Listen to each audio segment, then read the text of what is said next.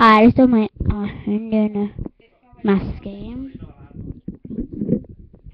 to get the, that number. And thanks for watching. Bye. See you next time.